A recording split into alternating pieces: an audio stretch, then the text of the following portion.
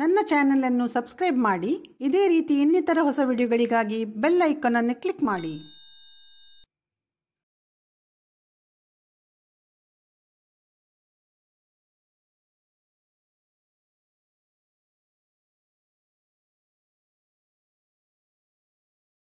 Hi friends ನಾನು ನಿಮ್ಗೆ ಇವತ್ತು ಪಾಸ್ತಾ ಉಪ್ಮಾ ಯಾವ ರೀತಿ ಮಾಡೋದು ಅಂತೇಳಿ ತೋರಿಸಿ ಕೊಡ್ತಾ ಇದ್ದೇನೆ. ಸಿಂಪಲ್ ಆಗಿದೆ ಇದು. ನೀವು ಟ್ರೈ ಮಾಡಿ. ಬನ್ನಿ ನಾವು ತಯಾರು ಮಾಡೋಣ. ಒಂದು ಅಗಾಲವಾದ ಕಡಾಯಿ ಇಟ್ಟಿದೆ ನೋಡಿ. ನೀರು ಹಾಕ್ಕೊಳ್ಳು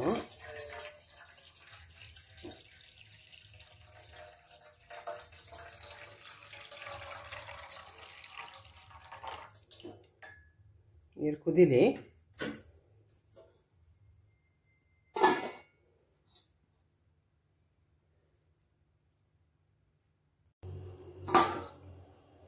ನೀರು ಕುದೀತಾ ಉಂಟು ನೋಡಿ. ಹಾಫ್ ಟೀ ಸ್ಪೂನ್ ನಾನು ಟೇಬಲ್ ಸಾಲ್ಟ್ ಹಾಕಿದೆ. ಕರಗ್ಲಿದ್ದು ಆಮೇಲೆ ಎಲ್ಬೋ ಪಾಸ್ತಾ ಇದೆ ಅಲ್ವಾ? ಅದನ್ನು ಹಾಕೊಳ್ಳುವ. ಬೇಯ್ಲಿ.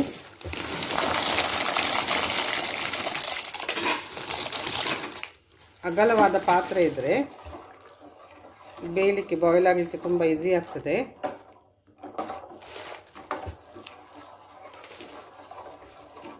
ಒಂದು ಫೋರ್ ಹಂಡ್ರೆಡಷ್ಟು ಹಾಕ್ಕೊಂಡೆ ಫೋರ್ ಹಂಡ್ರೆಡ್ ಗ್ರಾಮ್ನಷ್ಟು ಹಾಕ್ಕೊಂಡೆ ಇದನ್ನು ಬಾಯ್ಲ್ ಆಗಿ ಸಾಫ್ಟ್ ಆಗಲಿ ಅಲ್ಲಿವರೆಗೆ ಮುಚ್ಚಿಡುವ.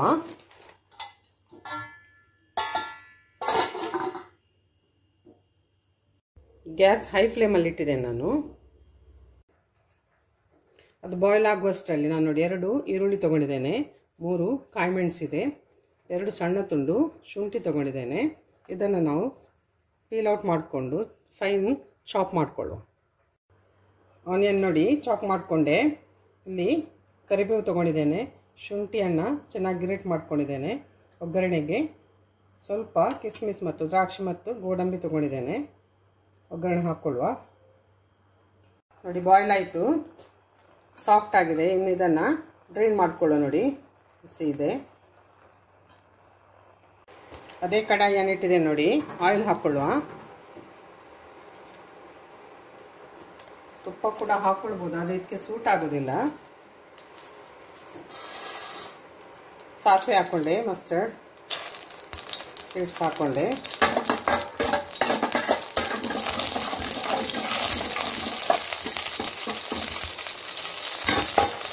ಸ್ವಲ್ಪ ಕೈ ಆಗಲಿ.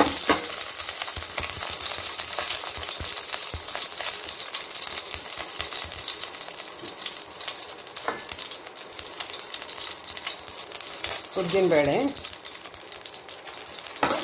ಊರದ ದಾಲ್ ಇದೆ ಅಲ್ವಾ ಅದು.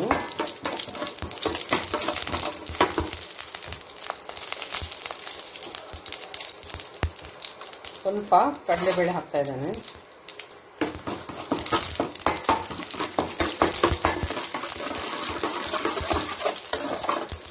ಗ್ಯಾಸ್ ಲೋ ಫ್ಲೇಮಲ್ಲಿ ಇಟ್ಕೊಳ್ಳಿ.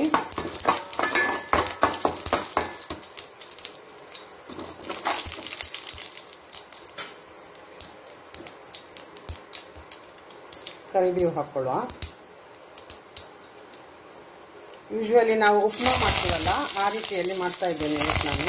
ಸಿಂಪಲಾಗಿ ಮಸಾಲ ಪಾಸ್ತಾ ನಾನು ಆಲ್ರೆಡಿ ಮಾಡಿದ್ದೇನೆ.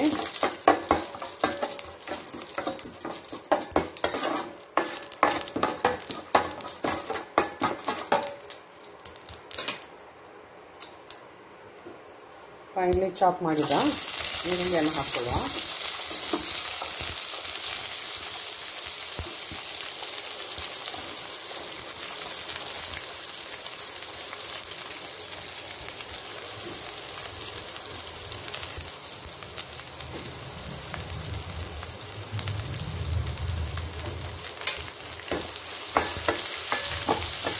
ಈರುಳ್ಳಿ ಫ್ರೈ ಆಗಲಿ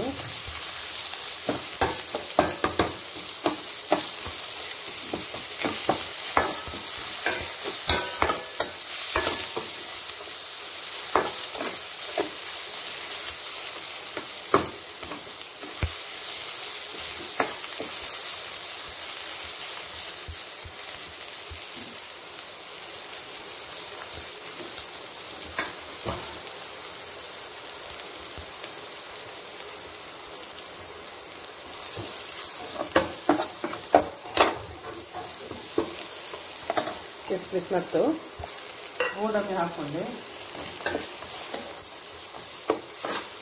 ಅದರೊಟ್ಟಿಗೆ ಸ್ವಲ್ಪ ಫ್ರೈ ಆದ ಸಾಕಿದ್ದು. ನಿಮಗೆ ಬೇಕಿದ್ರೆ ಸ್ವಲ್ಪ ತುಪ್ಪದಲ್ಲಿ ಹುರಿದಿಟ್ಕೊಳ್ಬೋದು ಇದನ್ನು. ದ್ರಾಕ್ಷಿ ಮತ್ತು ಗೋಡಂಬಿಯನ್ನು. ತುಪ್ಪ ಬೇಡ ಇದಕ್ಕೆ ನಾನು. ಒಗ್ಗರಣೆಗೆ ತುಪ್ಪ ಹಾಕಲಿಲ್ಲ ಯಾಕಂದರೆ ಇದಕ್ಕೆ ಅಷ್ಟು ಸೂಟ್ ಆಗೋದಿಲ್ಲ.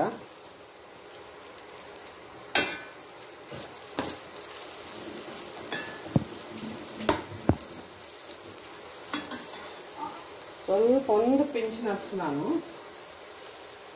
ಸಾಲ್ಟ್ ಹಾಕ್ತಾ ಇದ್ದೇನೆ.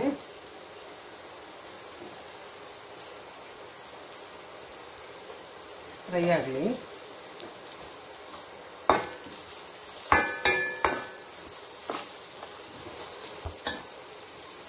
ಇನ್ನು ಚಾಪ್ ಮಾಡಿಟ್ಟ ಟೈಮಿಂಗ್ಸನ್ನು ಹಾಕ್ಕೊಳ್ಳುವ. ಹಾಗೆ ಶುಂಠಿ.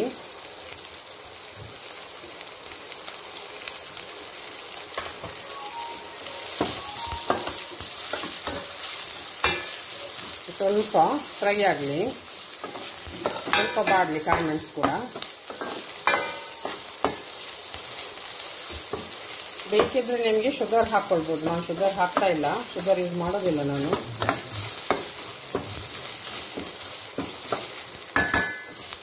ಸ್ವಲ್ಪ ಮತ್ತೆ ಬೆಲ್ಲ ಹಾಕ್ಕೊಳ್ಳುವ ಇದು ಫ್ರೈ ಆಗಲಿ. ಫ್ರೈ ಆಯಿತು ನೋಡಿ. ನಾನು ಜಾಗಿರಿ, ಆರ್ಗ್ಯಾನಿಕ್ ಪೌಡರ್ ಉಂಟು ಜಾಗಿರಿ. ಅದನ್ನು ಹಾಕುತ್ತೇನೆ.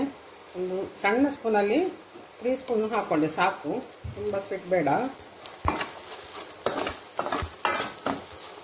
ಇನ್ನು ಸ್ವಲ್ಪ ಕಾಯಿ ತುರಿ ಇಟ್ಕೊಂಡಿದೆ ನೋಡಿ. ಎಳತ್ತು ಕಾಯಿ ತುರಿದು ಹಾಕ್ಕೊಳ್ಳುವ ಹತ್ರ.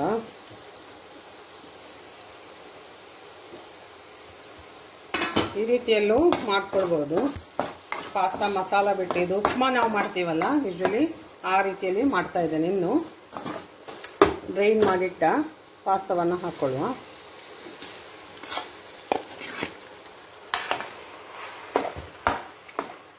ಚೆನ್ನಾಗಿ ಮಿಕ್ಸ್ ಮಾಡ್ಕೊಳ್ಳುವ.